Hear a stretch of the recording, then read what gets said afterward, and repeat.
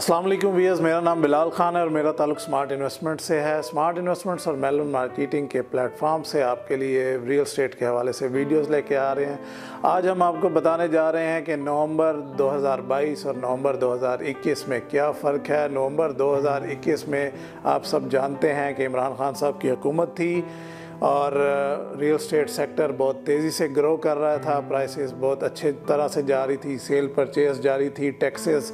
Collection बहुत अच्छी थी रेवेन्यू कलेक्शन बहुत अच्छी थी, महँगाई इतनी ज़्यादा नहीं थी इन्फ्लेशन इतनी ज़्यादा नहीं थी, जबकि अगर आप नवंबर 2022 को सामने रखें तो ये सारी चीज़ें अदर वे हैं, सारी चीज़ें बिल्कुल टोटली आउट ऑफ़ कंट्रोल हो चुकी हैं, महँगाई inflation political instability economical conditions और उसके साथ साथ रियल स्टेट मार्केट जिसमें बैरिया डी जैसे बड़े बड़े ब्रांड भी शामिल हैं, तमाम के तमाम बुरी तरह से पिट चुके हैं, बुरी तरह से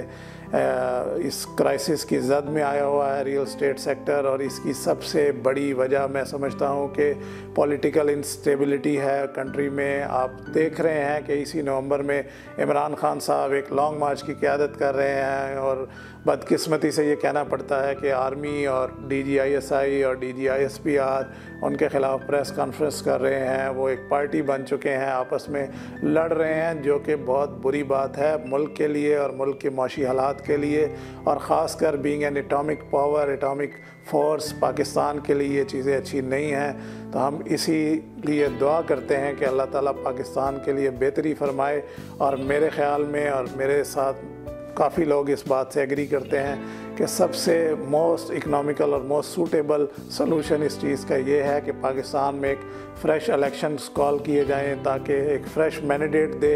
पब्लिक आवाम लोगों को एक फ़्रेश मैंडेट दे और एक नई हकूमत वजूद में आए, क्योंकि at the moment there is no government here हम पिंडी इस्लामाबाद में कैपिटल में बैठ के ये बात ऑब्ज़र्व कर रहे हैं कि पाकिस्तान में इस टाइम हकूमत नाम की कोई चीज़ नहीं है। इंटीरियर मिनिस्टर राना सनाउल्ला साहब, इज़्ज़त माब वो भी धमकियों पर उतरे हुए हैं। दूसरी तरफ़ से इमरान खान और उनके अलाइज उनकी पार्टी वर्कर्स और उनकी टीम भी, वो भी सारे धमकियों पर उतरे हुए हैं। और अब तो आर्मी भी ऑन बोर्ड हो गई है और आर्मी ने भी प्रेस कॉन्फ्रेंस में ये कहा कि हम गैर सियासी हैं आल दो उनकी प्रेस कॉन्फ्रेंस से ये बात ज़ाहिर हो रही है कि वो सियासत में पूरा अमल दखल रखते हैं और हर बच्चा बच्चा जानता है कि they have issues they have involvements इसके साथ ही मुझे इजाज़त दें, उम्मीद करते हैं कि पाकिस्तान के हालात बेहतर होंगे, पाकिस्तान आगे बढ़ेगा, तरक्की करेगा और इसी के साथ हम इसी दुआ के साथ आपसे इजाज़त चाहते हैं, अपना और अपने बच्चों का ख्याल रखें। Take good, good care of yourself. Allah Hafiz.